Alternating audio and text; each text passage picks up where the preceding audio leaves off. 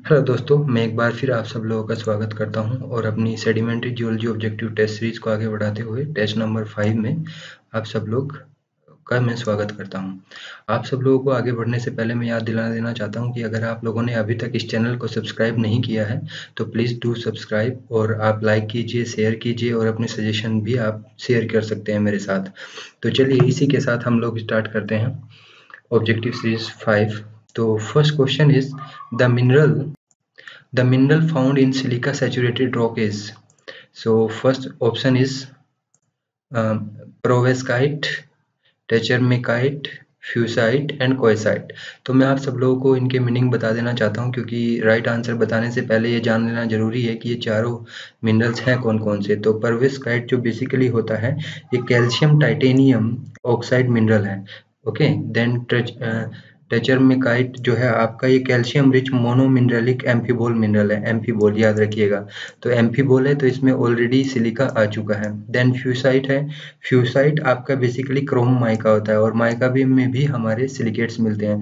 Then कोएसाइट कोएसाइट्स जो है वो क्वार्ट्स का पोलीमोर्फ है। मैंने आप लोगों को मिनरोलॉजी की लेक्चर सीरीज़ में क्वार्ट्स ग्रुप में इसको डिस्क्राइब किया था। तो वहाँ पे जाके आप डिटेल में इसकी इंफॉर्मेशन ले सकते हैं और ये भी देख सकते हैं किस तरह के रेजिम्स में ये मिलता है।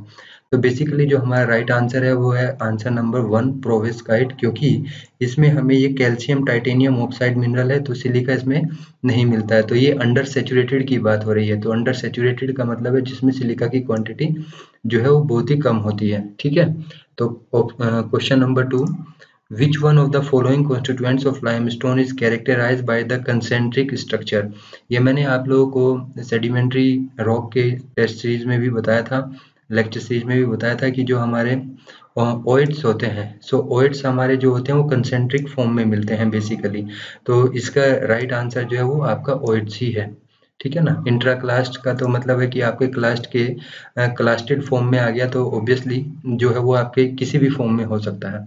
Okay then question number three which one of the following sedimentary structure does, uh, does not mark the top surface of a bed? तो बेसिकली इस क्वेश्चन में क्या है कि आपका जो फ्लूड कास्ट हमें ऑप्शन दिया है करंट रिपल दिया है वेव रिपल दिया है रेन प्रिंट्स दिया है। तो याद रखिए क्वेश्चन को ठीक से पढ़ना है आपको। Does not mark the top of a surface of the bed तो इन सभी ऑप्शंस में करंट रिपल्स भी हमें जो है वो काइनेमेटिक्स बताते हैं, जिससे हम पहले करंट एनालिसिस करते हैं। वेव रिपल्स भी हमारे सरफेस के ऊपर डेवलप होते हैं रेन इम्प्रिंट्स भी हमारे सरफेस के ऊपर डेवलप होते हैं। फ्लूट कास्ट हमारे सोल कास्ट भी कहलाते हैं, ठीक है ना? तो flute cast basically scoop shape के स्ट्रक्चर होते हैं, जो कि आपके सोल्स के ऊपर फॉर्म होते हैं।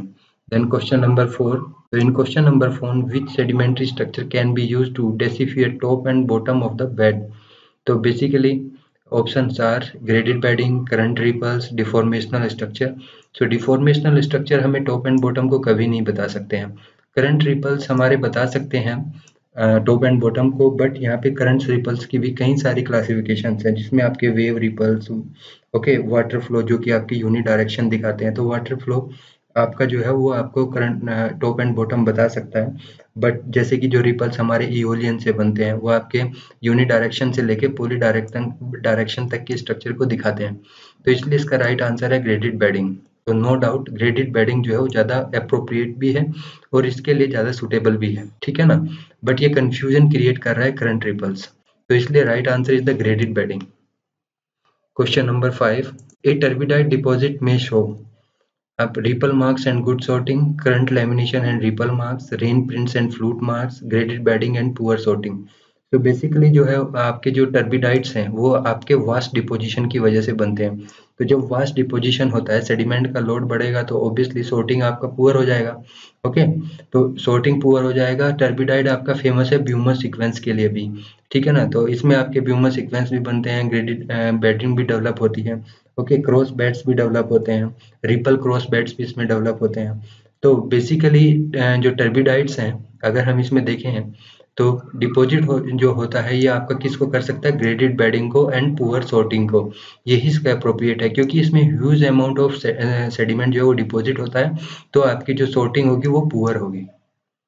ओके देन मिक्राइट मिक्राइट को मैंने आपको एक क्लासिफिकेशन में भी बताया था, जब हम लाइमस्टोन के क्लासिफिकेशन को यूज़ कर रहे थे।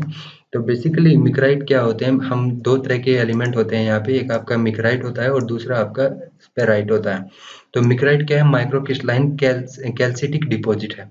ओके और स्पेरसाइट जो है, वो आपका कैल्साइट डिपॉजिट इन वेन्स है। या इसको हम स्पार्स भी कह सकते हैं या स्प्रे भी कह सकते हैं। ठीक है ना? तो यहाँ पर क्या है कि आपका जो मिक्राइट है ऑप्शन है हमारे fine grain carbonate a type of stalactite a similar to myrmekite hexagonal iron carbonate तो आप देख सकते हैं इसका अप्रोप्रिएट आंसर जो है वो है fine grain carbonates okay then next question is सभा का इज़ ए तो सभा का बेसिकली क्या होते हैं? कोस्टल एरिया में सुपर टाइडल एरिया में ये डिपॉजिट होते हैं जो कि आपके मड फ्लैट्स और आपके सैंड फ्लैट्स सैंड फ्लैट्स को शो करते हैं। इन विच जो है वो आपका इवेपोराइट्स भी डिपॉजिट होते हैं। और बेसिकली ये आपके सेमी एरिड से एरिड कंडीशन में डिपॉजिट होते हैं। तो sabkha is a super tidal deposit desert deposit deep sea deposit और रिवर टेरेन डिपॉजिट तो इसका बेसिकली क्या है आपका? ये कोस्टल एरिया में होता है तो डीप सी में तो ये डिपॉजिट होगा नहीं, ठीक है ना? रिवर टेरिस डिपॉजिट भी नहीं होगा सुपर टाइडल डिपॉजिट में भी ये नहीं डिपॉजिट होगा तो ये आपका सेमी एरिड और एरिड क्लाइमेट में होता है तो डेजर्ट में इसका जो है डिपॉजिट होता है। तो बेसिकली आप देख सकते हैं कि इसमें हमारे ऑप्शन एक सुपर टाइटल भी है जो कि इससे काफ़ी मैच खाता है। ठीक है ना? तो अभी इसमें डेजर्ट में इसलिए भी नहीं कह सकते हम क्योंकि डेजर्ट में पानी का कहीं ज़िक्र नहीं है। तो इसमें हम कह सकते हैं कि जो राइट आंसर है, वो है आपका सुपर टाइडल डिपोजिट ओके तो सुपर टाइडल डिपोजिट इसका करेक्ट आंसर है। Then question number eight question number eight which one of the following is form by the storm wave तो हमारे पास यहाँ पे चार ऑप्शन है herring bone cross bed antidunes longitudinal ripples hummocky cross beddings तो hummocky cross weddings जो है बेसिकली आपका सैंडस्टोन में मिलता है, ठीक है ना? और ये इसमें एनर्जी हमारी हाई होनी चाहिए, या हम इसको कह सकते हैं कि ये स्ट्रॉम एरिया में डेवलप होता है। लिंगोइड ट्रिपल्स जो होते हैं, हमारे वो जनरेट करते हैं angle to the flow as well as as well as towards the downstream also और इसके लिए जो हमें फ्लो की डायरेक्शन होनी चाहिए या फ्लो जो होना चाहिए, वो आपका लो एनर्जी का होना चाहिए बेसिकली ठीक है ना?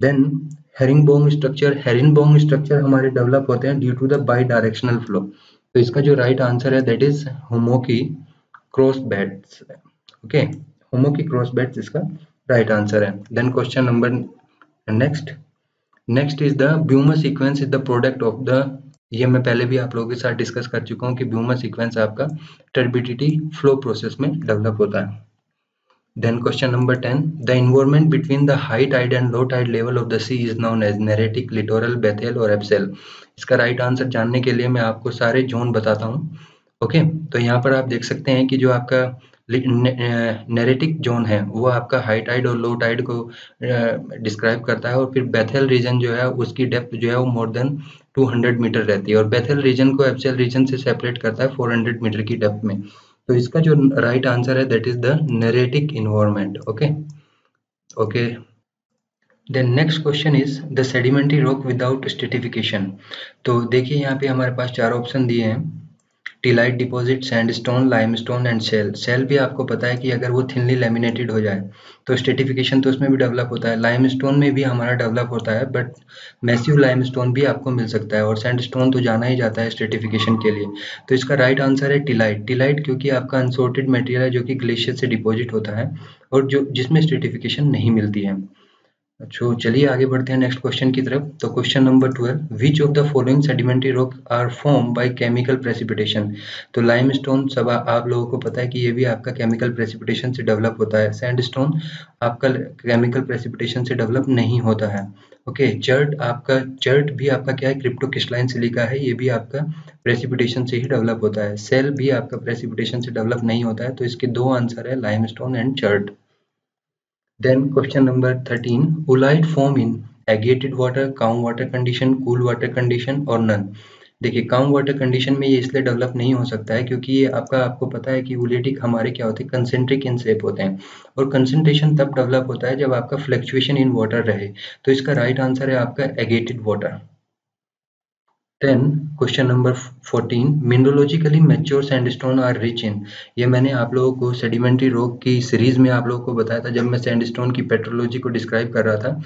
क्योंकि इसमें एक रीजन भी है। बाय भुवन रिएक्शन सीरीज़ हम सब लोगों को पता है कि सबसे हाईएस्ट रेजिस्टेंट मिनरल कौन सा है? क्वार्ट्स तो क्वार्ट्स की परसेंटेज जब आपके किसी भी रॉक में बढ़ जाती है तो उसकी मेच्योरिटी लेवल ज़्यादा होता है। फेल्सपार क्योंकि डिसइंटीग्रेशन शो करता है माइका भी और रॉक फ्रेगमेंट्स भी, जिनको हम लिथिक फ्रेगमेंट्स भी बोलते हैं। तो इसका राइट आंसर है क्वार्ट्स तो next question is heavy minerals heavy minerals are use to deciphering provenance environment diagenesis और नन ऑफ़ द अबव तो heavy mineral analysis basically provenance को डिस्क्राइब करती है।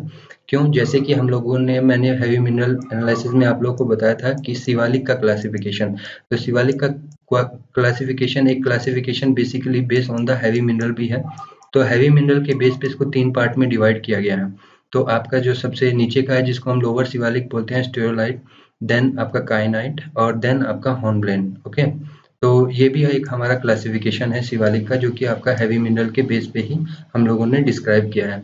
तो इसी के साथ जो है मैं आप लोगों से जो है ये आपका लेक्चर सीरीज़ मैं यहाँ पे कंप्लीट करता हूँ और उम्मीद करता हूँ कि ये आप लोगों की नॉलेज को इन्हांस करेगा।